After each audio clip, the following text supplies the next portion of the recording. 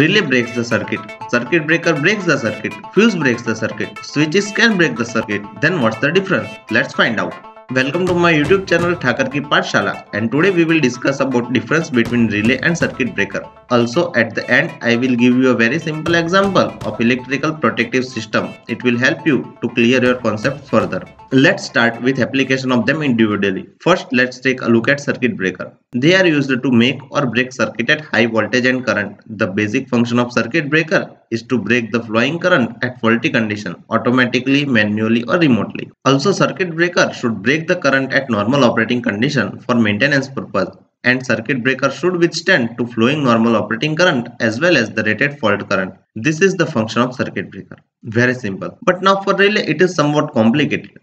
Let's take a look at function of relay. Unlike the circuit breaker, use of relay are endless. Basically, if we generalize the use of relay, then we can say that we use relays whenever we need to control high power circuit with low power circuit. In other words, relay are conditional switches. Sometimes in low power application, they also act as switching device. But in high power circuitry, they used to sense the faulty condition as well as to send an actuating signal to operate the circuit breaker in order to open the contact and turn off supply we can create various kind of logic via relay. Like we can set relay to be act on earth fault. We can use relay to determine the direction of current. We can use thermal relay to sense the temperature. Counting of application will be endless. But if we look particularly for a protective system then relay in protective system are used to sense the faulty condition and passes signal to the circuit breaker. We can use more than one relay and can create lots of different protective logic you will be amazed to know that early electromechanical computers such as ARRA and Harvard Mark II were built out of relay to create logic. Nowadays that complicated circuitry of relay is replaced with CPU. So if we sum it up, then the relay are controlling device which work on low power circuit and make controlling easy for us as we don't have to deal with very high power circuitry. Also relay are used in some low power circuit for switching purpose. Now let's take a very simple example of electrical protective system so you can clear the difference of relay and circuit breaker further. This line is directly taken from bus bar and we are protecting it against the overcurrent. In order to protect this system from overcurrent, we need to do three things. First one is to sense overcurrent. Second is that after sensing, we need to send that signal to circuit breaker in order to open its contact. And finally, in accordance to that trip signal, circuit breaker will open the contact and flowing current will be stopped.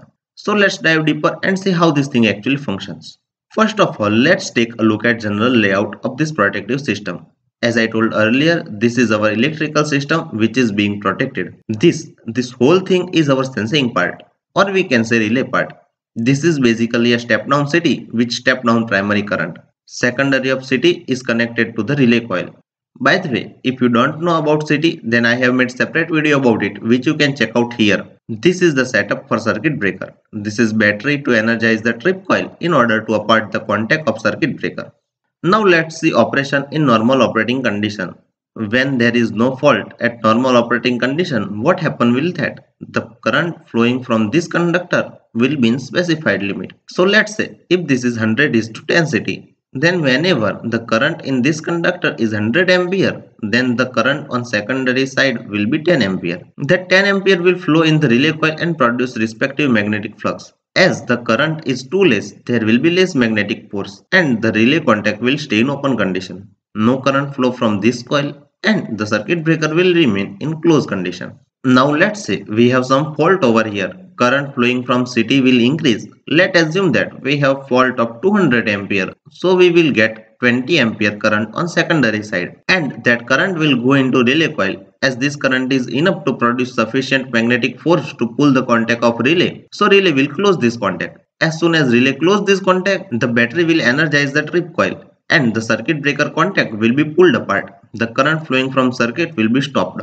So if we conclude content of this whole video in one line then it will be like this. For electrical protection system relay is sensing device and circuit breaker is just device which make or break circuit. So that's it for now. I hope you have find this video helpful. If so then hit that like button, share it with those who might get benefit from it. Subscribe for more videos like this. If you have not liked this video or you have any suggestion in regard to improvement or topic should I cover in my next video then comment it down below. So that's it for now. We will meet in my next video.